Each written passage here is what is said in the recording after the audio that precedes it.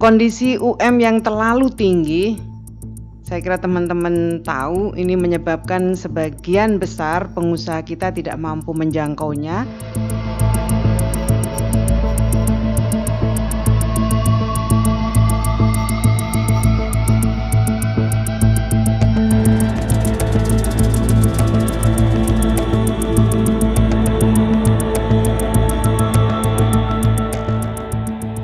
Terdapat suatu metode yang secara internasional digunakan untuk mengukur tinggi rendahnya suatu upah minimum di suatu wilayah, yaitu dengan membandingkan besaran upah minimum yang berlaku dengan median upahnya, dikenal dengan Cash Index.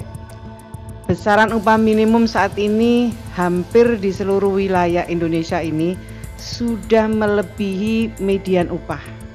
Bahkan Indonesia menjadi satu-satunya negara dengan Cash Index lebih besar dari satu, di mana idealnya berada pada kisaran 0,4 sampai dengan 0,6, sekitar 40 sampai 60 persen di bawah uh, upah median upah.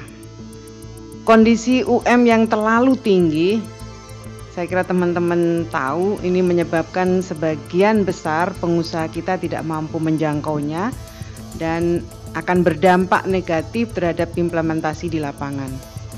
Hal tersebut sudah sangat terlihat dengan upah minimum dijadikan sebagai upah efektif oleh pengusaha sehingga kenaikan upah cenderung hanya mengikuti upah minimum tanpa didasari oleh kinerja individu.